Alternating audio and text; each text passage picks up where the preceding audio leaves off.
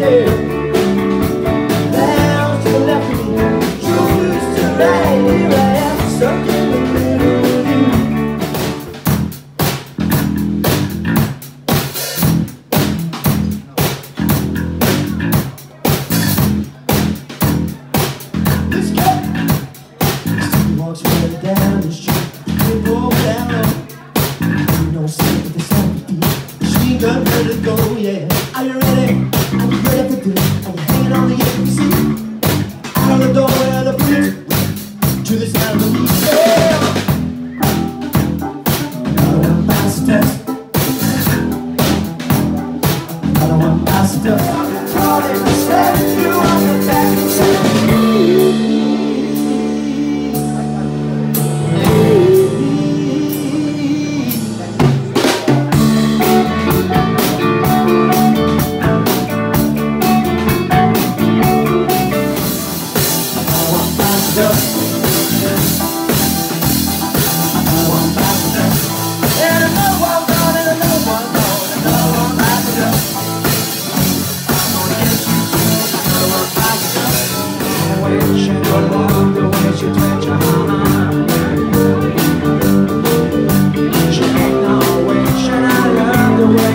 Job.